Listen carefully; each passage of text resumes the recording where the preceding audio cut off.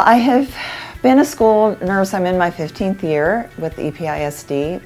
Well, it's never boring. Um, I have a very busy office.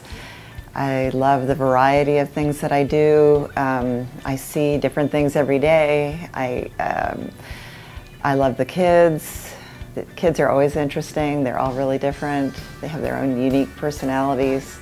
I precept a lot of, of, of nursing students coming from UTEP and Texas Tech and also from EPCC, and um, they are always completely surprised by how busy the school nurse's office is and the great variety of things that we do and the amount of responsibility that we have.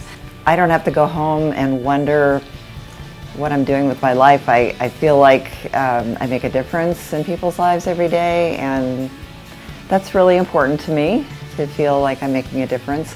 I won the Texas School Nurse of the Year and I don't know that there's anything particularly special about me. I feel like I represent a lot of really good quality in the district. Um, and I suppose I am EPISD because I represent the great nurses in EPISD.